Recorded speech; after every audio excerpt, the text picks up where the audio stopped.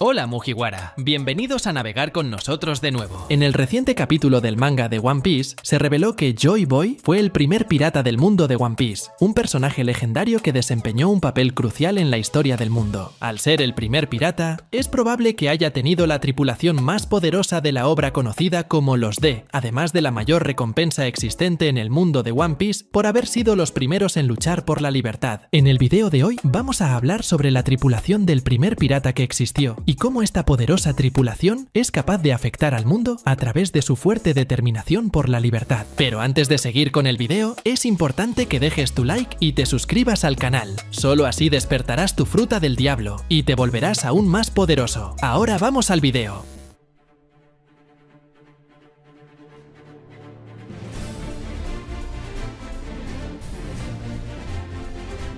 Chicos, Joy Boy no fue solo un pirata común, sino también el gobernante de un reino antiguo que poseía una tecnología extremadamente avanzada, superando incluso la tecnología de los tiempos actuales. Este reino, frecuentemente referido como el Reino Antiguo, era una utopía de progreso y prosperidad, pero su existencia amenazaba el equilibrio de poder en el mundo. La amenaza del Reino Antiguo era tan significativa que los 20 reinos más poderosos de la época se unieron para destruirlo, formando lo que más tarde sería conocido como el Gobierno Mundial. Esta alianza, que unió a las fuerzas más poderosas del mundo, tenía como objetivo eliminar la influencia y la tecnología del Reino Antiguo, temiendo que su poder desestabilizara el mundo. Joy Boy, siendo el gobernante de este reino, era naturalmente una figura de enorme importancia y poder. No solo lideró un reino tecnológicamente avanzado, sino que también fue el primer pirata, iniciando la era de los piratas que continúa hasta hoy. Su tripulación estaba compuesta por individuos extremadamente poderosos, posiblemente conocidos por el apellido D, lo que indica una línea de personas con gran fuerza de voluntad y determinación, además de ser detestados por el gobierno mundial. Su tripulación, posiblemente la primera en navegar los mares con el objetivo de libertad y aventura, estableció el estándar para todos los piratas que vinieron después. Además, esta tripulación puede haber estado compuesta por personas cuyos descendientes llevan el apellido D, lo que implica que la línea D tiene raíces profundas en la historia de los piratas y en la lucha contra el gobierno mundial. La destrucción del reino antiguo y la subsecuente caza de sus remanentes por las fuerzas del gobierno mundial muestran la magnitud del impacto que Joy Boy y su reino tuvieron en el mundo. El gobierno mundial hizo todos los esfuerzos para erradicar cualquier rastro de este reino, incluyendo manipular la historia y suprimir información,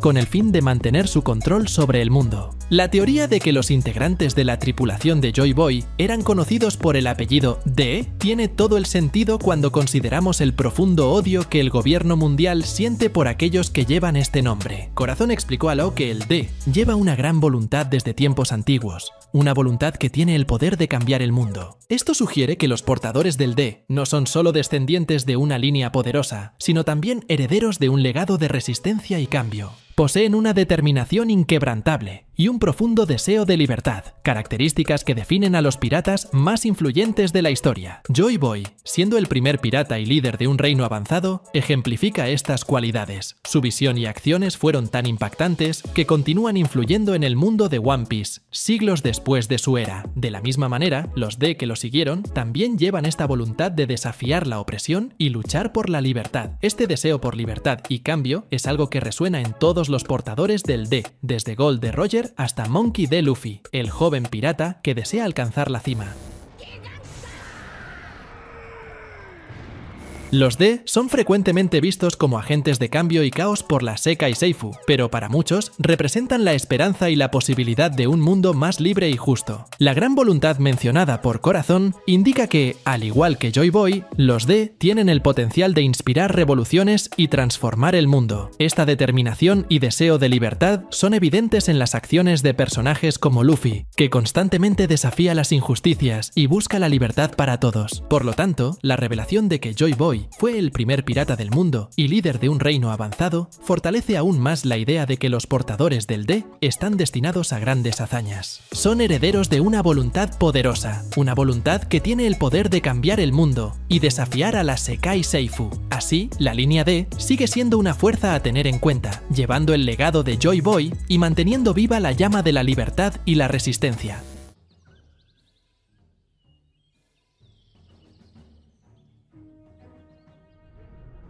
La tripulación de Joy Boy habría sido una fuerza extraordinaria en su época. Estos individuos, cuyas familias hoy son reconocidas como algunas de las más poderosas del mundo de One Piece, eran no solo miembros de un reino tecnológicamente avanzado, sino también poseedores de una fuerza y determinación excepcionales. Familias como los Monkey, Trafalgar, Gol, Porgas, Nefertari, Jaguar, Rox, entre otras aún no reveladas, son descendientes de estas figuras legendarias, sugiriendo que sus antecesores eran igualmente formidables. En el presente, los miembros de estas familias D poseen habilidades e influencias significativas. La familia Monkey, representada por personajes como Monkey D. Luffy y Monkey D. Garp, es conocida por su fuerza bruta y espíritu indomable. Trafalgar D. Waterloo, de la familia Trafalgar, es uno de los piratas más astutos y habilidosos de la nueva generación. La familia Gol, con Gol D. Roger, el rey de los piratas, es legendaria. Porgas D. Ace, de la familia Porgas, fue uno de los piratas más prometedores antes de su trágica muerte. La familia Nefertari, representada por la princesa Nefertari Bibi, está entre las pocas que forman parte de la Sekai Seifu, pero tienen profundos lazos con el D. Estas familias son extremadamente poderosas en el tiempo actual, lo que indica que, en el pasado, sus antecesores eran igualmente o incluso más famosos e influyentes. La Sekai Seifu, consciente de la amenaza que estos individuos representaban, hizo esfuerzos para borrar sus historias. Este acto de borrado histórico tenía como objetivo no solo suprimir el poder de estas figuras, sino también evitar que su influencia siguiera inspirando rebeliones y resistencias contra la Sekai Seifu. Los miembros de la tripulación de Joy Boy posiblemente poseían habilidades y conocimientos que superaban a los de cualquier otro grupo de la época. Con sus muertes, sus legados fueron transmitidos a sus sucesores las actuales familias D. Cada generación de portadores del D heredó no solo el nombre, sino también la responsabilidad de continuar la lucha por la libertad y la justicia. Joy Boy y sus compañeros podrían haber sido héroes y figuras de inspiración para muchos. Sus acciones e ideales, transmitidos de generación en generación, mantuvieron viva la llama de la resistencia. Incluso con los esfuerzos de la Sekai Seifu para borrarlos de la historia, el impacto de Joy Boy y su tripulación sigue siendo evidente. Las actuales familias D continúan desafiando la autoridad de la Sekai Seifu, manteniendo la voluntad y el espíritu de sus antecesores.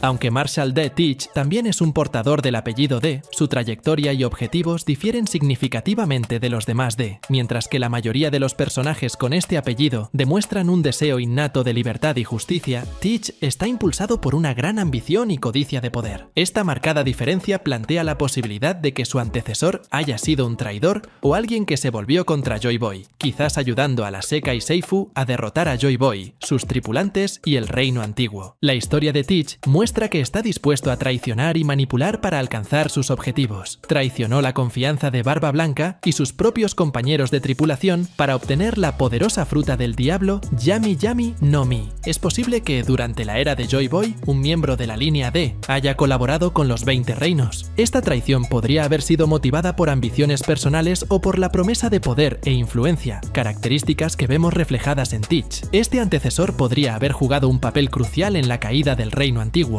traicionando a Joy Boy y sus ideales a cambio de su propia seguridad o beneficios. Marshall D. Teach, por lo tanto, puede estar siguiendo los pasos de su antecesor traidor, continuando una línea de D que se desvía de los valores de libertad y justicia. Su objetivo de conquistar el mundo y su codicia desenfrenada de poder son indicaciones claras de que está dispuesto a hacer cualquier cosa para alcanzar sus objetivos, incluso si eso significa traicionar a quienes lo rodean. A pesar de llevar el apellido D, Teach no demuestra la misma gran voluntad de cambiar el mundo para mejor, como lo hacen Luffy, Lo y otros. Representa una versión distorsionada y egoísta del legado de, utilizando su poder e influencia para dominar y controlar, en lugar de liberar e inspirar.